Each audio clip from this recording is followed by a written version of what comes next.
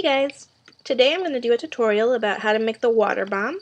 Um, it's a very common origami model. A lot of children make them. Um, the point is that you fill the top with water and then you throw it at people. So I guess that's fun. Um, if you're using a very flimsy paper like I used here, I wouldn't advise filling it with water because you may not make it away from the sink. But if you want to use a thicker paper, um, that's a cool, fun thing to do on a hot summer day. So, let's get started. Okay, for this model, we're going to be using a square piece of paper. And to start out, you're actually going to be using a water bomb base. Surprisingly enough, we're making a water bomb. We're using a water bomb base. So let me get that. I actually have one already made. Magic. Now, if you don't know how to make a water bomb base, I already have a video up about it. Um, sh there should be a link in the description bar below, and there should also be a link on the screen. So you click on that, and you come back in just a second as soon as you're finished making your water bomb base. Okay, so to get started with this, we're going to start with the um, two flaps on either side, two triangle flaps, and with the open end, the part that is open like this facing towards you, and with the tip facing away. You're going to want to make sure especially that you have the colored side on the outside if you want this to look pretty because if you don't have the colored side on the outside it won't show up in the finished model. So you want to make sure your color is facing out. Okay, the first step we're going to do to this is we're going to make a crease using just one layer of one side. It doesn't matter which side you start, we're going to be doing both sides. But I'm going to start here with the right side. When you do this, you want to make sure that you leave that back layer behind because we're going to be doing this in the back as well. You're going to take this point and you're going to fold it all the way up to meet the point at the top. And you'll notice that as you do this, the crease that you made when you made your water bomb base is going to be right along um, the line that you're making the, your new crease on now. So you're going to hold that, get it as close to perfect as possible, and then go right along the line. And I cannot emphasize enough making sure you get your creases as close to perfect as possible. It's not necessarily the most important thing in the world. It's not going to completely ruin what you're doing, but it is one of the most important things in origami. So you want to make sure that you understand that because if you get messy creases, you're going to get messy products at the end. Okay, so now that we've done that, we're going to go ahead and we're going to do it on the other side, just like the same as we just did. Make sure to get your creases nice and firm. And now you can see we've got kind of a, a square shape made out of two triangles in the middle, and you've got the two slaps from the back here along the back. And we're going to flip it over and do the same thing on the back side. Bring it up to the top, crease it like that, and then bring it up to the top and crease it like that. And you can see that I've got a little bit of a gap down here at the bottom.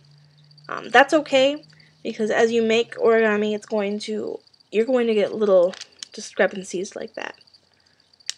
Um, but it's not if you make your creases messy, it's going to be worse. So that's not necessarily if you have because you have messy creases. That just happens. A little tiny thing that can cause that. Now you see we've got our square on this side and our square on the other side. And we're going to turn it so that the line in the middle is going side to side. And we're going to make crease as close to perfect as possible. This is going to be tricky to do with these all these points going everywhere, and you don't actually need to crease the whole way down, just that middle part, just pinch it, right where those two lines meet. And then open it back up. So now you've got a little bit of a crease there so you can tell where the center between here and here are. Okay. So now you're going to take your two points that are the, um, they're not the ends that, that are connected. It's the two sides where your two flaps are, the same way we've been holding it all along. Yeah, you don't want to use the end where the points are separate like this. You want to make sure that they're the ends where they're connected. And you're going to go ahead and you're going to fold that so that it meets your center line there. You're going to do the same on all four of the flaps. Do it there, flip it over, there,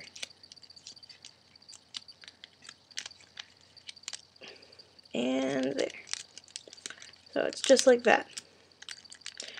Now here's where the tricky part comes in, where you have to make sure that you're um, getting things as close to perfect as possible to make the end result come out. You're going to be holding it so that the part where all the flaps are together is at the top, and the part where they're all separate like this and different is at the bottom. And you're going to take one of the sides, it doesn't matter which one, we're going to be doing it to all four of them. One of these little triangles at the bottom, and you're going to fold it up so that it, the crease that you make rests right along that line. And your triangle's sticking out along the side there. You're going to do the same to the other side. So now it kind of looks like you have a square shape right here and you've got two triangles poking out like that. Now make sure you make those creases nice and firm because we're going to use those to make a fold later. You're going to fold your corners right back down and then you're going to actually fold these up again so that your crease, it's not along that line right there, but the edge of here is along this triangle. You're going to do the same to the other side here. So now instead of it being up here, it's down a little ways, so you have a tiny little square in there, and you've got kind of a diamond shape here. Okay, so now you're going to unfold that, and you've got two creases there and there, and there and there. Now if you hold this just right, and you poke your finger in between these triangles, it'll open up. You can see you've got a little pocket in there. And you're going to just pop that open so that you can um, get something inside it. And you're going to pull up the triangle that's on that side and poke it into your your closest crease. That's the one that you made with the little tiny square where it rested along that line. So that it goes in as all the way to the edge there. And now, sometimes with origami, you're going to have to make your creases more than once, just to make sure they go there. But that doesn't mean that you're going to want to skip the first one because you're going to be making it again later. Um, the first one can al always be a guide, so you want to fold that up along that line. Just again, just to make sure you have it good and firm. Open up your triangle again, and just push that inside right over the second or the, sorry, the first piece that you folded in. So now you've got that entire flap that was down here, this flap here, is on the, that was on this side, is now inside that pocket. You're going to do the same thing with all the other four flaps. You're going to stick the triangle inside to the first crease, fold it over, and then stick it all the way inside like that and go to the back. And this one we have to make our creases again. You could do them all four at once or you can do them like I did. It doesn't really matter. Make those.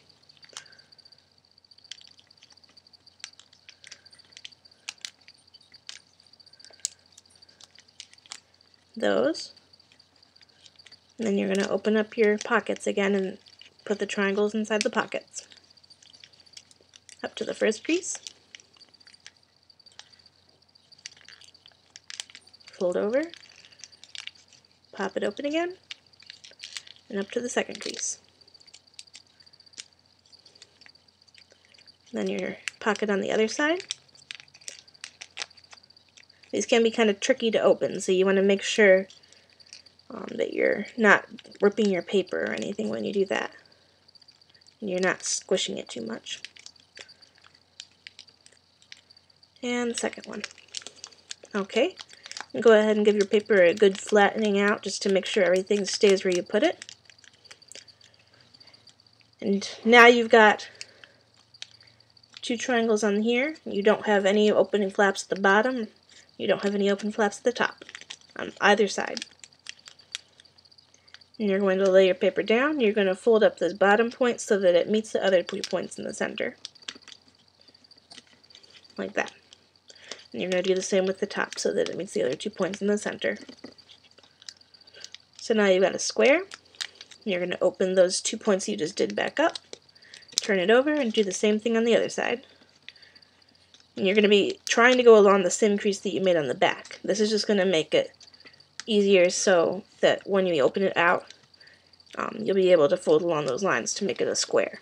If you don't want to make it a square, you can just step, skip these creases altogether. But I think it looks neater as a square. Okay, fold those back and forth a few times just to make sure they're well creased. And now here comes the fun part. You're going to take your flaps and you're going to pull them out so they make kind of a, I don't know, a dreidel shape, I guess. Ooh. Now, yeah, you're going to pull them so that you can hold them just like that. You see that there's a little opening in the top. And here's the part I can't really show you because I'm back here behind the computer screen. Um, but you're going to want to blow it up just like a balloon through that top portion. And I'll do that real quick and get back to you. Okay, so I just blew it up through the opening there, and if you find that you're having trouble, for instance, let's go back down, say that you end up with something that looks like this, and you can't get it to blow out any farther, it could be because you have, um, your creases aren't quite as neat as you'd like them to be, or maybe you just have your paper too thick.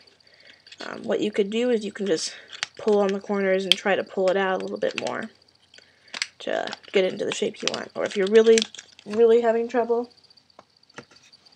sorry, and grab yourself a needle of some kind. I'm using just a, I don't even know, a knitting needle, something I found on my floor, and just push it in there through the opening and pop out the edges.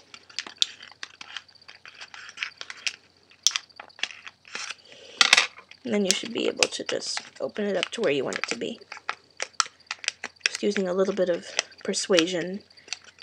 Um, origami's always going to need a little bit of extra primping, so just go through and tighten your edges, make your square neater. Um, this is a never-ending process, truly. Um, just get it to where you're happy. And I suppose if you're using a thicker paper, you can go ahead and fill this with water at some point. I am not going to do that because I think that would be really messy and I'd be afraid of ruining something. It happens all the time, I promise. That's the finished model. Um, I will be taking suggestions for what to make next if you have something that you've just been dying to know how to make and you're having trouble getting it or you, you just want to see me make something. Uh, leave a comment in the comment box below or on my channel and I'll see what I can do about it. Thanks, guys. Have a great day.